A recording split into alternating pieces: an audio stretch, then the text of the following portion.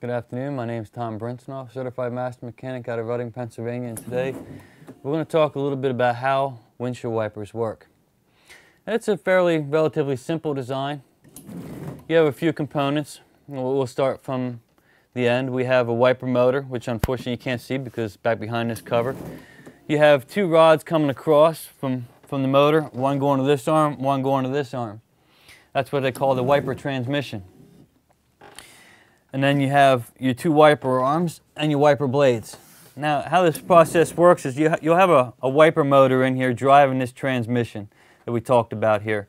As this wiper motor is going around in a complete circle, it's hooked to a, a rod that's going to move. And these two, two this transmission in here is going to move on two different ways because you can't have them, unfortunately, moving the same, same rod because you won't get them going in the same direction. But as this one comes around, it's going to move uh, uh, action similar to this. And as it's turning, as you can see the action, it's going to move that arm, both of them in, in, in synchronization here.